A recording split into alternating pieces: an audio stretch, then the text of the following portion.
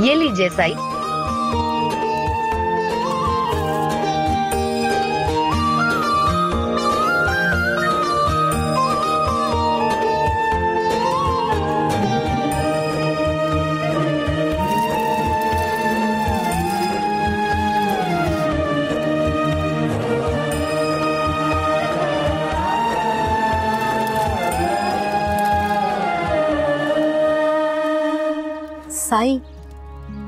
मीठा नमकीन सब एक साथ मिला देंगे तो स्वाद बिगड़ जाएगा। प्यार से दी हुई कोई भी चीज़ अच्छी ही होती है रेहाना। जी साई।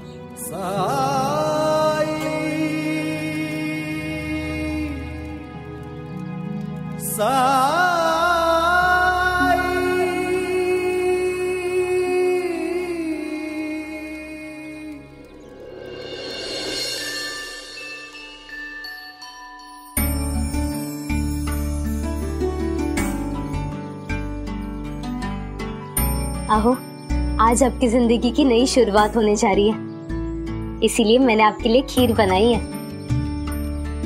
कुछ मीठा खाओगे तो सब कुछ अच्छा हो जाएगा। अरे वाह, सुधा। थोड़ा संता जी के लिए भी रखना। भले उन्होंने मेरे साथ नौकरी नहीं छोड़ी है, लेकिन वो मेरे सबसे अच्छे दोस्त है।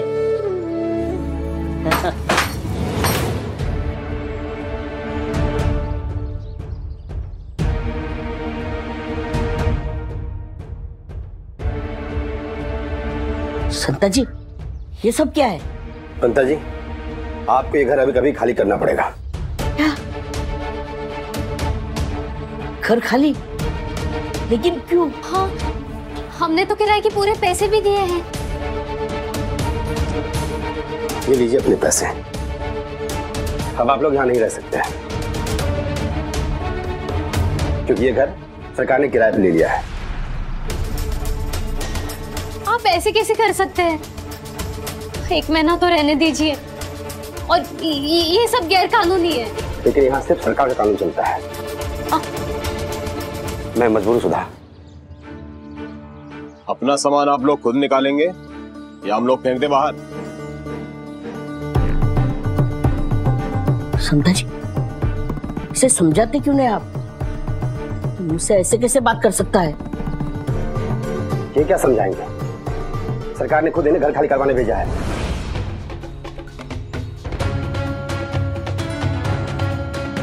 पंता जी आप तो जानते हैं ना कि अगर मैंने सरकार की बात टाली तो वो मुझे जान से मार डालेंगे। लेकिन एक गलत है। पंता जी कल तक आप भी तो यही करते थे ना? लोगों का घर खाली करवाते थे और आपको बड़ा मज़ा आता था। और आज आपके साथ हो रहा है। ये गलत है। चलो रे निकालो सामान बाहर। नहीं संता जी एक पल में इतनी सालों की दोस्ती ऐसे कैसे भूल गए? मुझे माफ़ करना भाई। मुझे दोस्ती और ज़िंदगी के बीच में से चुनना पड़ रहा है। और मुझमें इतनी हिम्मत नहीं है कि मैं सरकार के विरुद्ध जा सकूँ।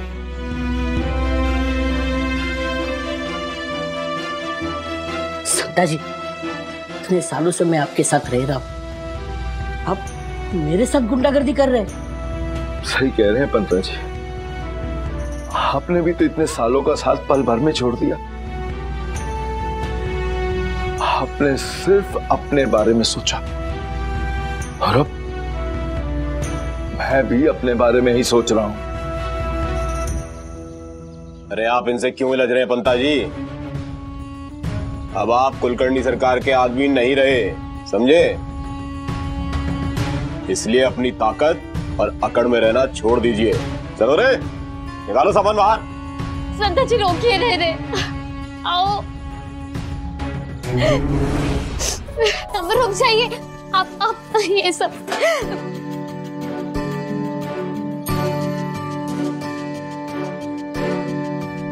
सरकार से यही उम्मीद थी।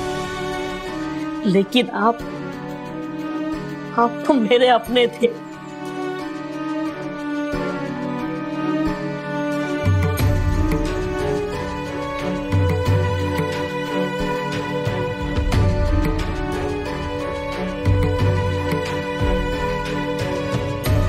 पंता जी थोड़ा संभल के रहिएगा। सरकार आप पर बहुत गुस्सा है।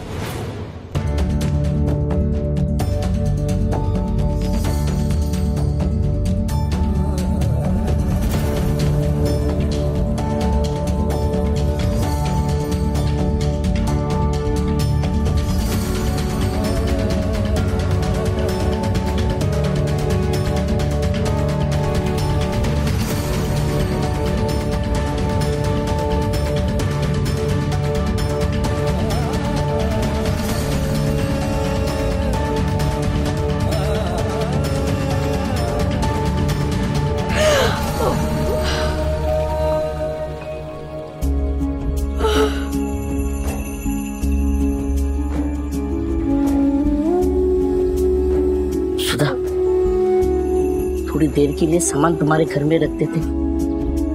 तुम वही मेरा इंतज़ार करना। तब तक मैं कोई दूसरा किराए का घर देख कर आता हूँ।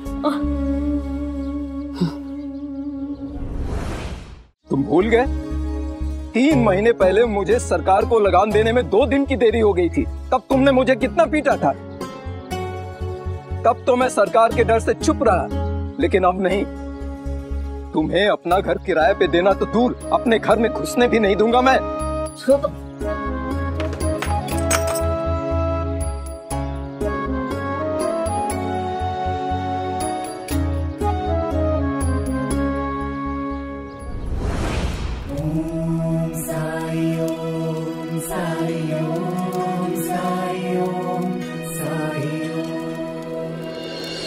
घर तो भूल ही जाओ। तुमने जितने पाप किए ना इसके बाद शिरडी में तुम्हें कोई गुट पानी भी नहीं देगा। अब खड़े क्या हो? निकल जाओ। अरे जाओ।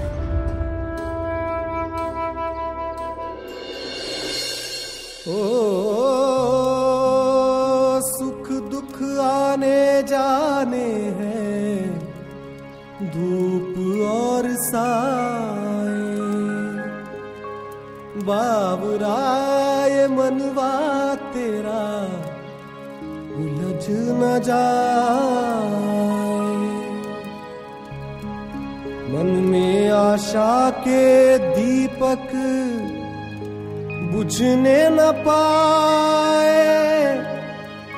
सुबह शुरू करो। आएगी ये। रात समझाए। ओम साई ओम साई ओम।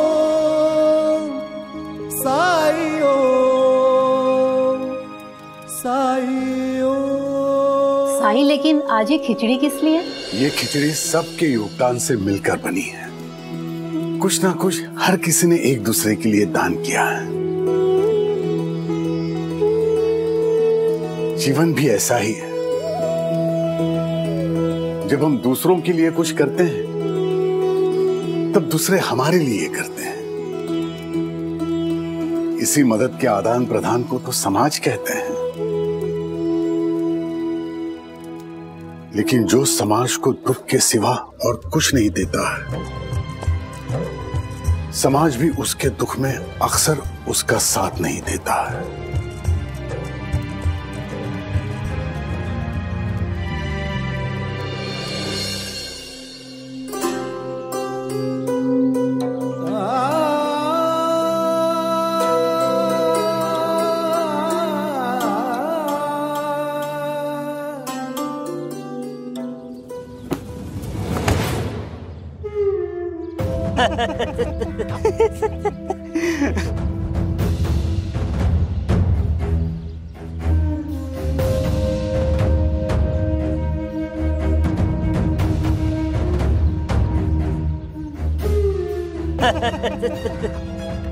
मज़ा आ गया। इसने ना मेरे बूढ़े पिताजी को एक बार ऐसे ही धक्का मार के गिराया था। इसे कहते हैं जैसे को तैसा।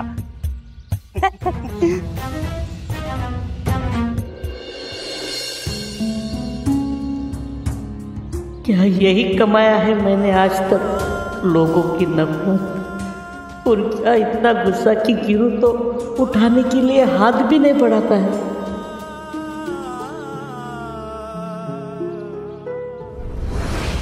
एक बात बताइए साई यहाँ लोग जो भी चीज़ें लाते हैं आपके खाने के लिए आप उसे हांडी में मिलाकर स्वादिष्ट खिचड़ी बना देते हैं। क्या इसकी वजह जान सकते हैं हम? इसकी एक बहुत ही खास वजह है। वक्त आने पर बता दूँगा। लेकिन अगर एक चीज़ आज आप में से कोई भी लाता तो मैं उसे हांडी में डालकर खिचड़ी का हिस्सा नहीं बनाता बल्कि स्वयं खा जाता। ऐसी कौन सी चीज़ है साईं? पूरी।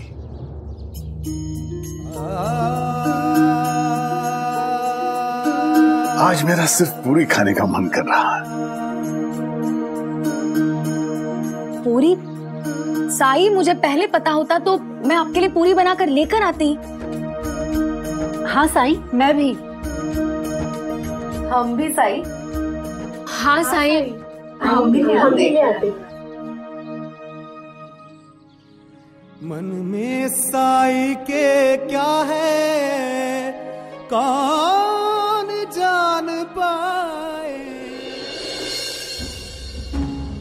हुआ क्या है बेटे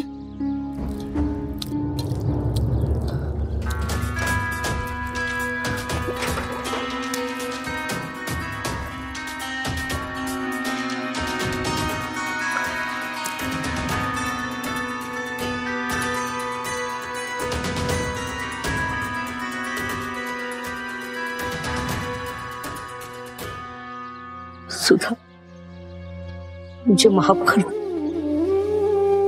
मेरे पापों के कारणों से आज कोई भी मुझे सर छुपाने के लिए छत नहीं देना चाहता। वो आपका कल था। आपने आपका आज बदला है। अपने आप को बेहतर किया है। सब ठीक हो जाएगा। फ़िलहाल के लिए हम यही रह सकते हैं। मैं जानता हूँ मुझे क्या करना है। मैं अब भी आया। आप कहा जा रहे हैं? सरकार के पास। आप आप फिर से वहाँ नहीं जाएँगे। मुझ पर विश्वास नहीं है। आप पर है पर सरकार पर नहीं। संता जी कह रहे थे ना कि सरकार आपको बर्बाद करना चाहते हैं। सरकार को मुझसे बेहतर कोई नहीं जानता। हमारे चुप रहने से वो चुप नहीं बैठेंगे। मुझे उनसे साफ़ साफ़ बात करनी पड़ेगी। अगर ज़रूरत पड़े तो माफ़ी भी मांग लूँगा। क्योंकि उनके अहंकार को ठेस पहुँचे तो उनके अहंकार को शांत करना होगा। मैं अब भी आया।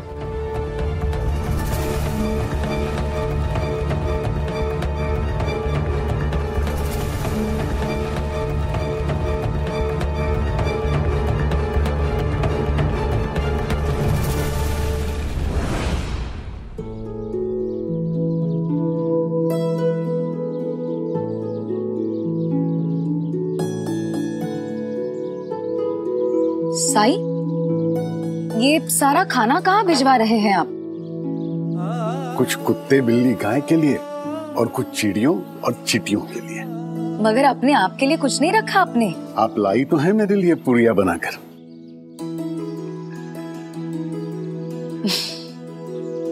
आपसे कभी कुछ छुपा है साई? लीजिए।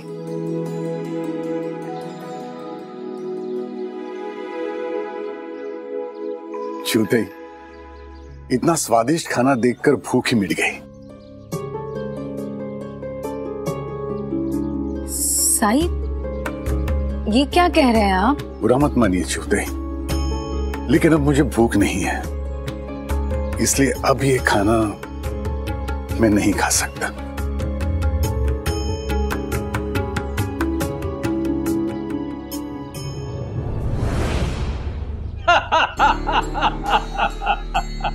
हरिओम हरिओम। आज तो बहुत प्रसन्न है मेरा मन।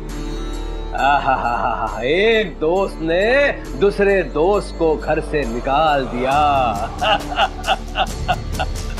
क्या देखने लायक दृश्य होगा वो, हा? है कि नहीं? है? ए गधे, तू क्यों मुँह लटकाए खड़ा है? परेशान है?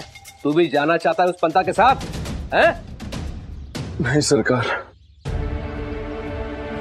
मैं आपसे कभी नमक हरामी नहीं करूँगा। हरिओम। यही उम्मीद थी मुझे तुमसे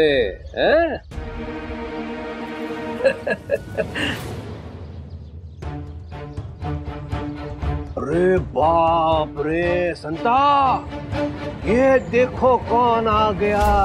नमस्ते पंता जी कैसे हैं? आप आ?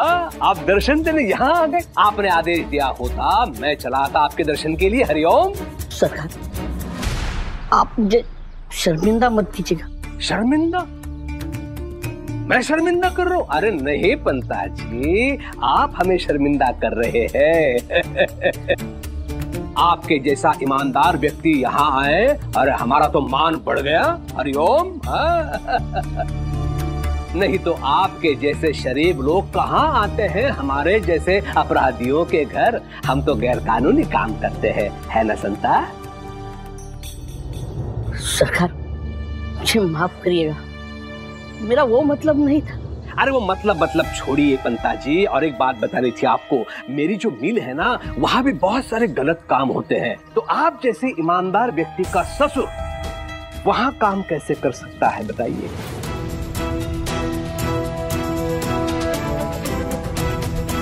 नहीं सरकार नहीं बिल्कुल बिल्कुल नहीं कर सकता। हाँ ऐसे ईमानदार व्यक्ति का कार्यस्थल वहाँ नहीं है। हाँ इसलिए मैं आपके ससुर को नौकरी से निकाल रहा हूँ। सरकार, मैंने आपकी सेवा की है। मुझे माफ़ कर दीजिए। मत कीजिए ऐसा सरकार, मत कीजिए।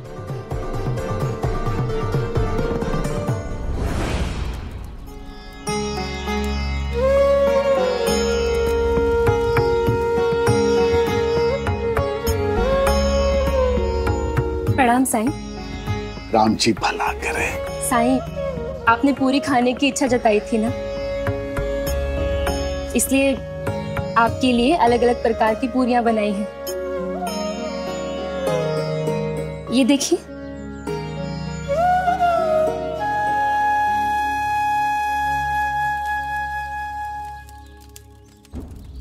दिखने में ही इतनी अच्छी हैं। लेकिन मुझे भूख नहीं है। साई। मैं पूरी के साथ बैंगन की सब्ज़ी भी लाई हूँ।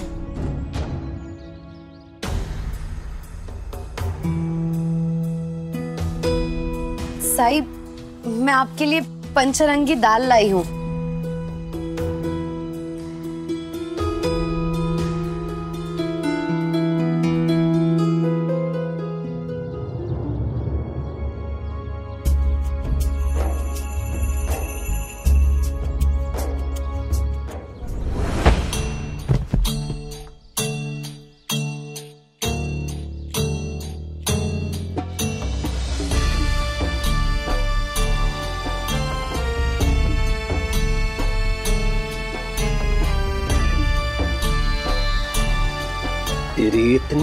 औकात कि तू कुलकर्णी सरकार को छोड़कर जाएगा। इतनी सरलता से मैं तुझे जाने नहीं दूँगा, जानता है क्यों? क्योंकि लोग समझेंगे, एक दो कौड़ी का नौकर कुलकर्णी सरकार के काम को लात मार के चला गया और मैं ऐसा होने नहीं दूँगा। लोगों के मन में मेरे प्रति जो डर है उसे मैं मिटने नहीं दूँगा। उठ।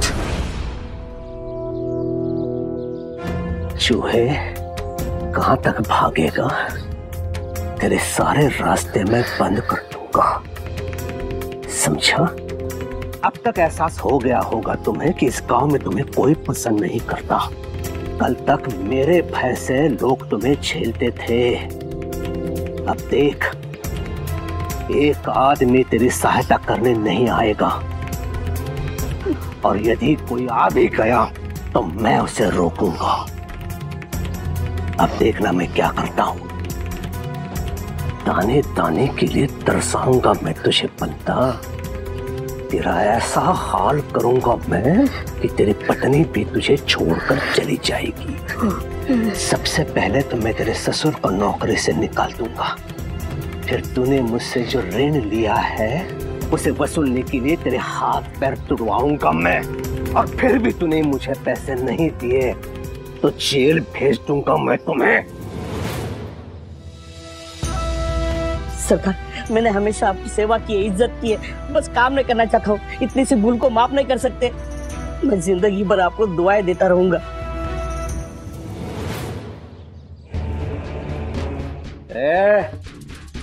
तो जैसे फर्नीचर की दुआएँ नहीं चाहिए मुझे।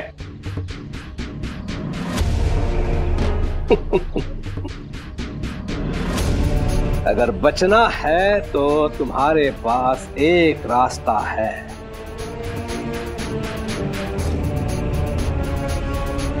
क्या, सरकार?